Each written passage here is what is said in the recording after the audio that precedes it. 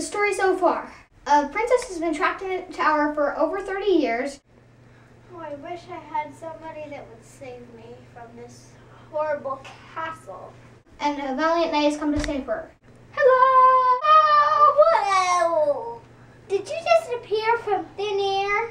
Yeah, I was underground. He he has encountered a dragon.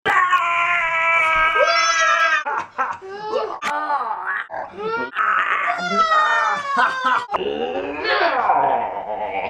dragon has been trying to stop him from rescuing the princess.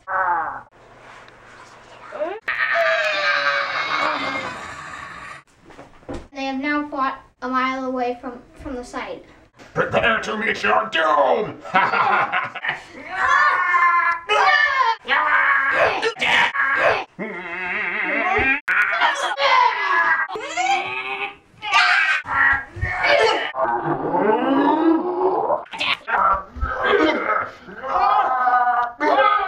Die! Avenge me!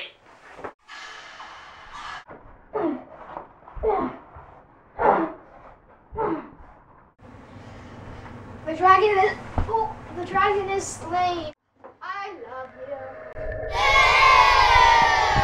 Come on, let's go home. But I thought this is our home. How you wanted me, me to get you out of the castle? Let's live in this castle. To win your love, I present you with a magical ball that lights up. Yeah. Oops. A ball that lights up. A cell phone. Thank you. Take it. Here's a fart thing. Oh! Thank you. Also, a dog. I'm gonna put my doggy right here and every day I take it for a walk. And uh, a nice hat. No, no, no. You gotta. You got an eyelash.